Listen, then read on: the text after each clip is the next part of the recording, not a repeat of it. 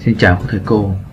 Hôm nay tôi sẽ hướng dẫn để thí thầy cô một cái dạng game. Đó là dạng game flashcard, rất phù hợp để thiết kế cho học sinh học từ vựng tiếng Anh. Và cụ thể là học sinh sẽ lật thẻ và nhìn hình và đoán ờ, học cái từ vựng thông qua cái hình đó. Bây giờ tôi sẽ đi vào thiết kế. Chúng ta chọn vào mục flashcard. Tôi sẽ đặt cái tiêu đề của cái trò chơi.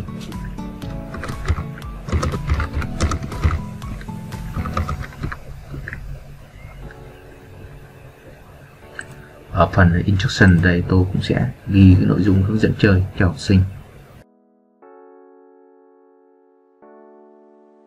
Ở cái mục double sign thì khi chúng ta thiết kế cái thẻ, ở đằng trước có hình ảnh để gợi ý cho học sinh và ở mặt sau của tấm thẻ sẽ có cái từ vựng còn trường hợp chúng ta chọn single size thì ở mặt trước chúng ta chỉ thiết kế hình ảnh học sinh và phía sau không có từ vựng thì sẽ không tiện cho học sinh học.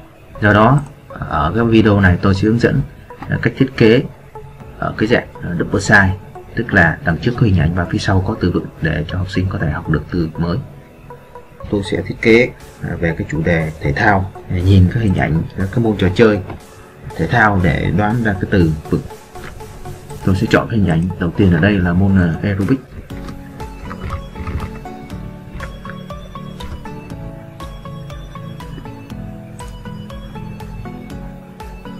Ở phần chữ thì tôi sẽ điền vào dòng chữ aerobic để cho dân học từ vựng tiếp tục sang cái câu thứ hai. Và các câu sau.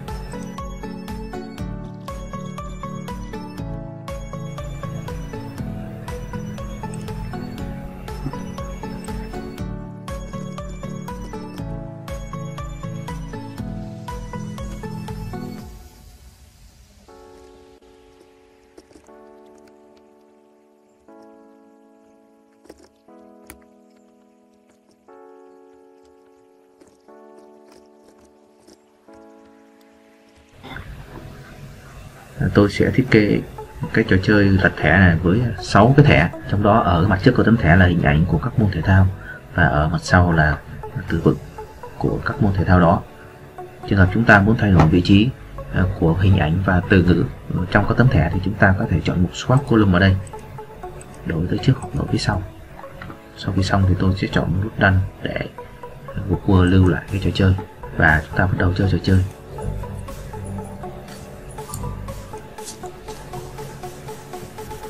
Vậy là học sinh có thể nhìn cái hình ảnh và khi lật tấm thẻ thì từ vựng của cái hình ảnh này là à, môn boxing đấm bốc. Để chuyển sang câu khác thì học sinh sẽ chọn vào nút uh, tích màu xanh đúng ở đây. Tiếp tục ở cái hình ảnh này. Đây là môn uh, thể thao điền kinh. Và sang câu mới chọn nút tích màu xanh. Đây là môn uh, American football. Đây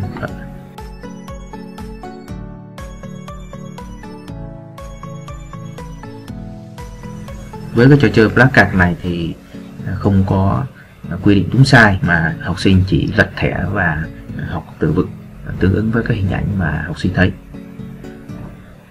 À, xin cảm ơn quý thầy cô đã theo dõi video này. Và xin hẹn gặp lại ở các video tiếp theo.